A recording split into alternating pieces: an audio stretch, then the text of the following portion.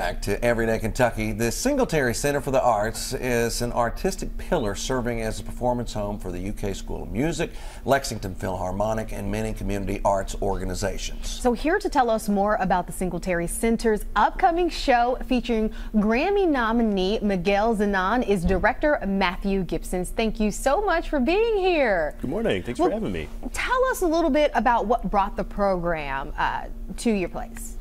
Sure. Well, the Singletary Center is the performing arts center for the University of Kentucky, and so we present like literally hundreds of live performances every year. Uh, and for the past couple years, coming out of the pandemic, we've been very focused on kind of our local arts community, uh, the UK School of Music, and some of our local arts partners. Uh, but now we're kind of looking back nationally and, and globally and beginning to re-engage, bring in special guest artists. Uh, so this Thursday, yeah, we have uh, Miguel Zenon coming in to play with the UK Faculty Jazz Tet as kind of one of the first uh, shows that the Singletary Center has brought in uh, kind of since we've reemerged. So tell us a little bit about, uh, about Miguel for folks that aren't familiar with him. Sure. he's an alto saxophone player, composer, and band leader.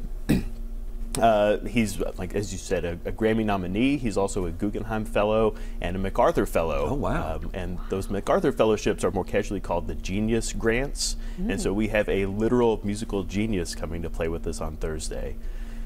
Um, and he's going to be backed up by the UK Faculty Jazz Tet. And so the faculty at UK who teach you know these emerging jazz performers uh, are going to be on stage themselves, uh, kind of playing the dual role as music educators, but also as professional musicians. Uh, so it should be a really exceptional night of music. So how can people get tickets? Uh, we have tickets on sale through Singletary Center box office, uh, singletarycenter.com, uh, or they can call down at 257 4929. Oh, wow. And you still have tickets available. Okay, now, people, we do not need tickets to be available. We want to make sure that they are sold out and you have a packed house. Right. And that's coming up on March 9th. That's this Thursday. That's yeah, this just Thursday, the day after yeah. tomorrow. So, yeah, hope folks come out. It's going to be a really special night of, of music, of jazz, and seeing kind of the caliber of performer uh, that that um, you know we're really proud to, to bring in and, and share with the community. So tell us about uh, moving forward. What are your plans? What's after this? Sure. so much. so much. Uh, yeah, so the 2023 24 season that will start in the fall uh, will actually be the first full programming season that we've presented uh, since 2019 2020, which was our 40th anniversary season at the Singletary Center and, and was a big deal. And, and we were glad that we got all the way through that uh, before the pandemic kind of uh, changed everything.